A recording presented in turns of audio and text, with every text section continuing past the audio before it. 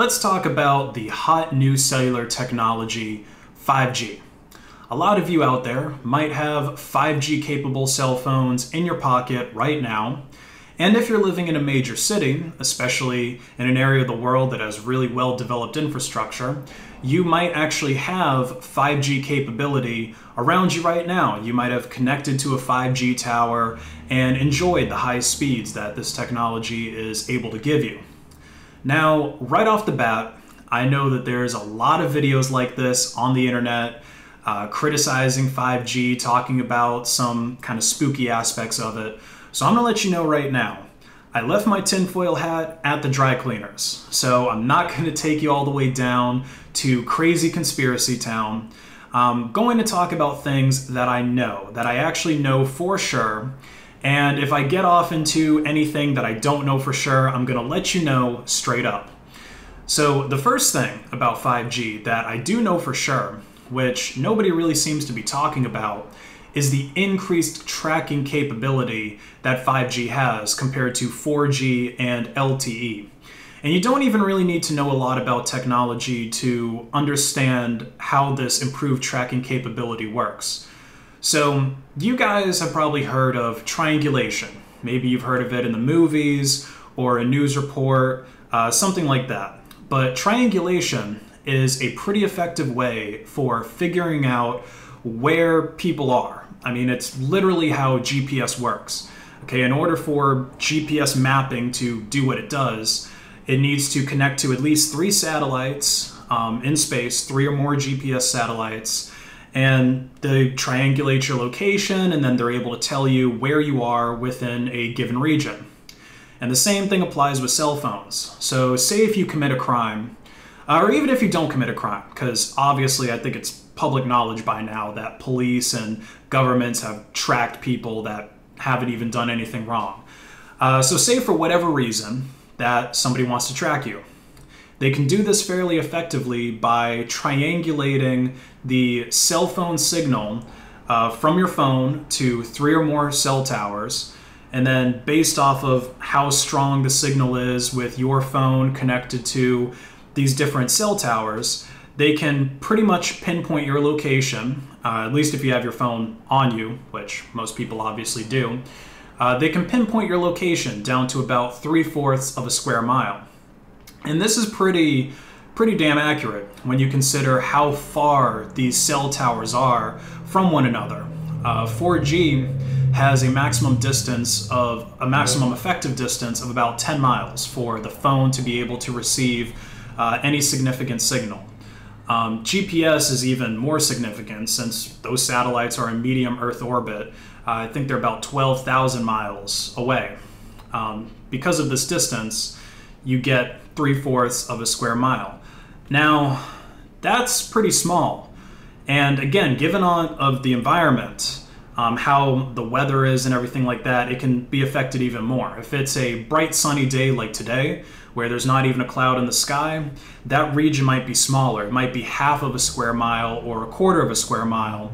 And if there's a blizzard, if there's bad weather conditions, then it might increase. It might go up to something like two square miles. Now, 5G is not a long distance signal.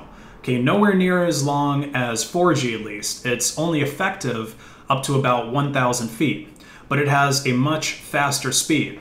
So it's a similar situation that we see with 2.4 versus 5 gigahertz Wi-Fi, where you either have a slower speed with an increased distance, or you have a higher speed with a decreased distance. So, in order for this 5G to be effective, to at least have overlapping coverage, the cell phone companies are going to have to put a lot of these 5G towers uh, together within a given region. And because of how close together these towers are going to be, they're probably going to be about 50 to 100 times closer compared to 4G towers. And that triangulation will also be 50 to 100 times more accurate.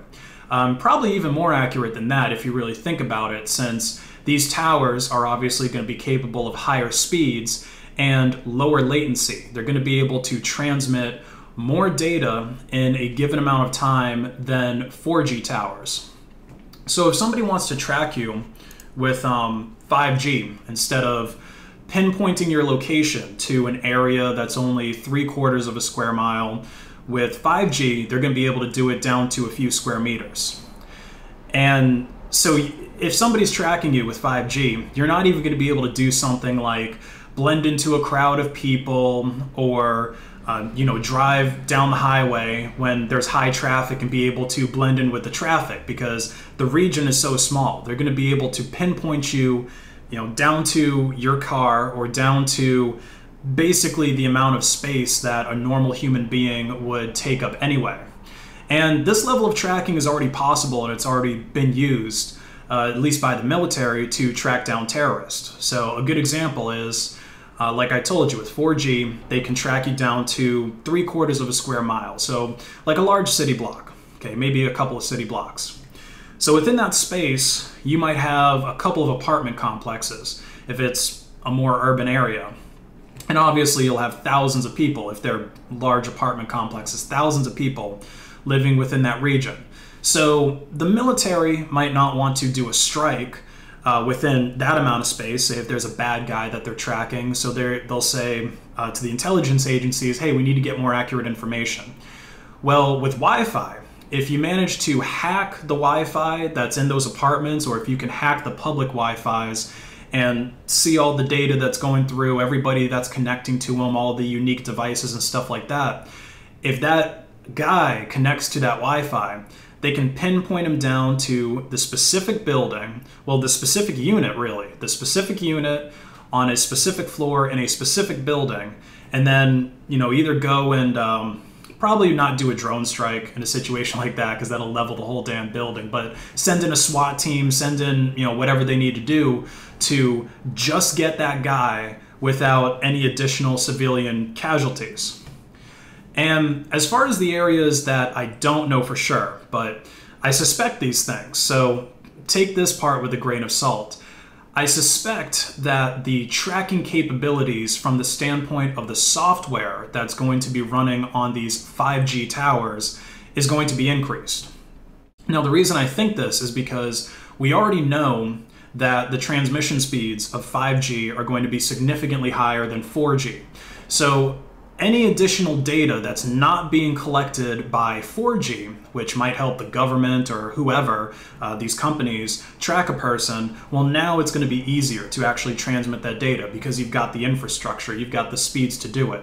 And we already know that there is an incentive from these companies that are going to be putting in these cell phone towers to track you, to collect your data.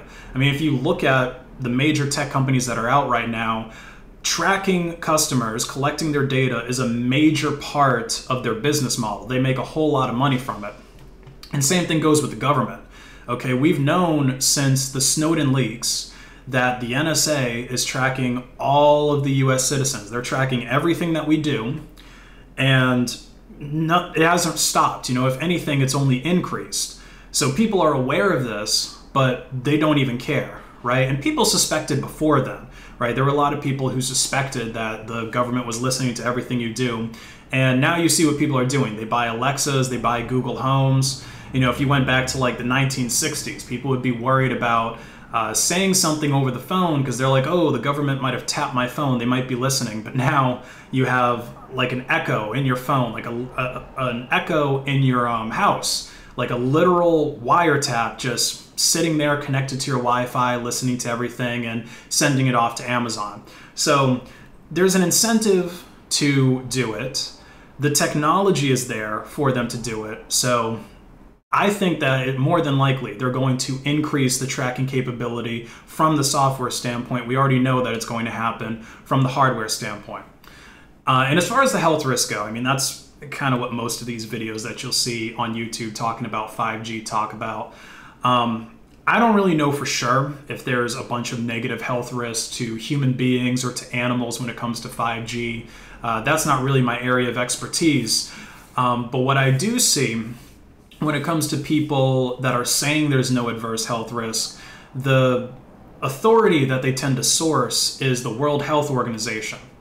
Uh, the same WHO who tried to tell us that this pandemic was going to be basically the end of the world, right? That millions and millions of people, uh, normal, healthy people, were going to die, and that it would just be this major crisis, and there's all kinds of things that they got wrong. So I personally don't trust the World Health Organization. I think that there's uh, there's something a little bit spooky going on there. Uh, I don't really trust them as an authority. Now, maybe you're thinking, uh, this technology won't really affect me because I don't have a 5G phone. I'm not going to buy a, 4 a 5G phone. I'm not going to adopt that technology. Now, that may be true now. It might not affect you right now, but it's going to become less true over time, and it's going to become more difficult for you to avoid that technology. As it stands right now, you can barely even get a new flagship phone that does not have 5G built into it. And eventually, phones that don't have 5G are going to become as rare or rarer than phones that don't have a headphone jack in them. Okay, Apple killed off the headphone jack. Well, the beginning of it getting killed off was just four years ago with the iPhone 7, and now pretty much all companies have adopted it.